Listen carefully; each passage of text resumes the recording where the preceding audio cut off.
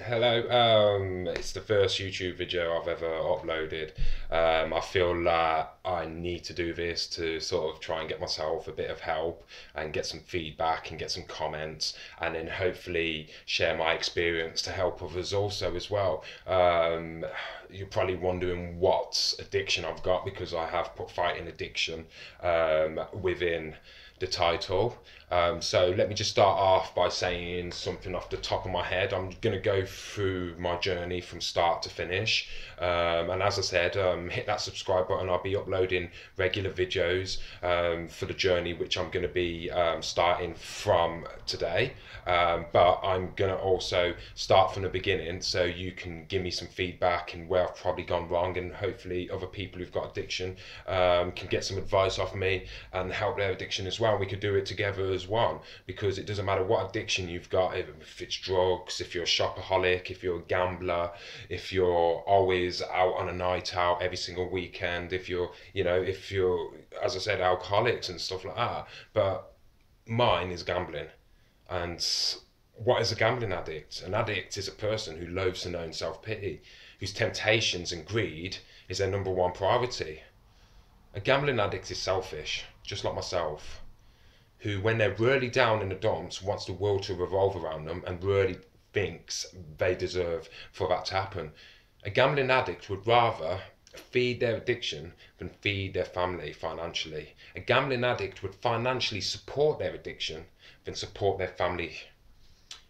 They would ne- neglect everything that family life means. Going out, booking holidays, taking my kid to cinema, um, taking him to the park, just taking him to the shop because I just want to see how this bet is going to go on. Um, and if that bet loses, I'll take you to the shop in five minutes because I've put another bet, but that bet ends up taking half an hour. I'll lose it and then I'm putting another bet. And before I know it, my son's in bed and he's not gone to the shop and it was four hours ago when I've told him.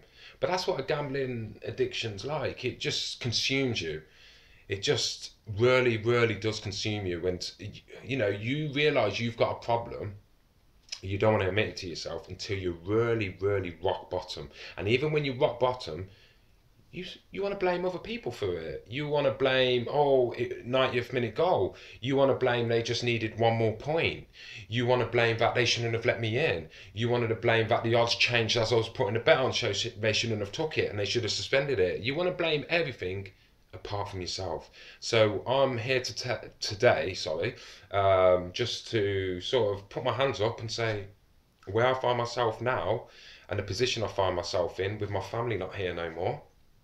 With me struggling financially, with me putting myself into debt, borrowing money just so I could gamble, is not the person who I borrowed the money from. Uh, it's not my um, ex partner's um, fault that she's left. It's my fault.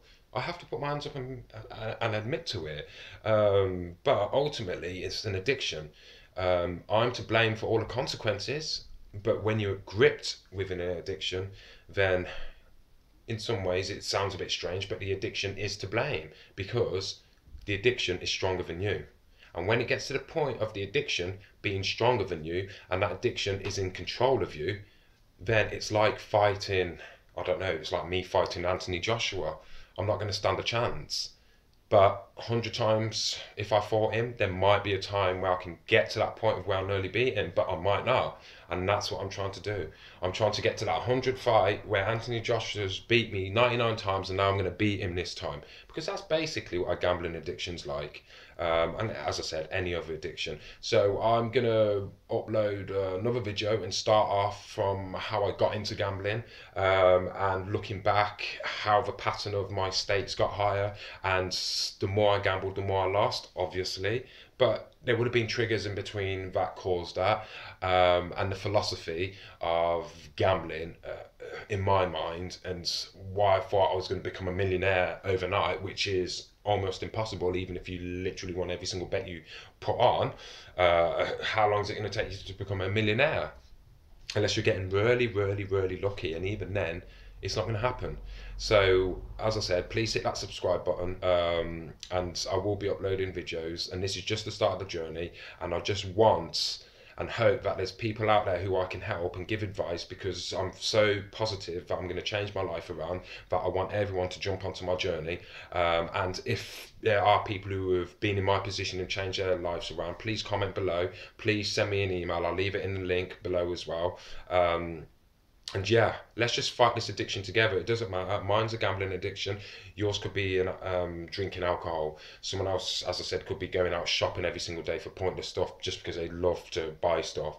But an addiction ultimately is an addiction, and it doesn't matter what addiction you're into. It's still an addiction, and it still has the same philosophies and psychology working in the background um, as to why you've got into that addiction. You you know you might have come from different backgrounds. It might have been different triggers, but once that addiction grips you, it still works in the same way.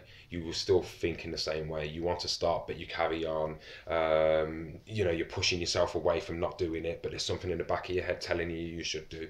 That's an addiction. Once it gets to you at that point, then ultimately there's no turning back until you actually recognize that you're addicted and you have an addiction and you really need help. Um, and whether that's speaking to family if that's not good enough professional help even by getting professional help it might not stop your addiction but ultimately you do not want to destroy your whole life and live your whole life going through an addiction um, like i have been because in the last five years it has completely destroyed my life. Um, to the point of financially I've crippled myself where ultimately if I did not start gambling I would be in such a good position now. Such a good position. I've worked hard all my life. I've worked hard for the last five years especially. I've put in so many shifts. I've put in so much overtime. And it was for my family but ultimately the gambling took control of me. It took grip of me. And it, I've, I've lost everything.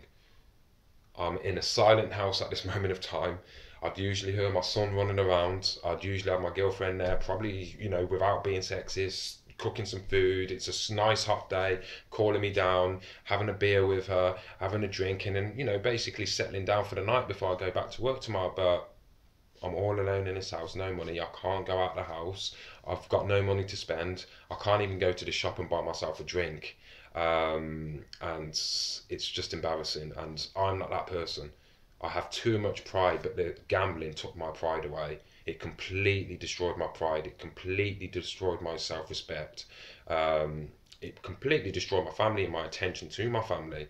Um, and you know, I don't blame my partner from going, and hopefully I can change my life around, and we can resume where we were five years ago and carry on. Because I've never wanted my partner to go, because um, I love her. But the gambling gripped me that much that I was more in love with gambling than I was with her. And that has to change. And I want everyone who's watching this video, if you're watching it, you've probably come here because you've got some form of addiction um, to change with me. And we take, as I said, take this journey as one because it's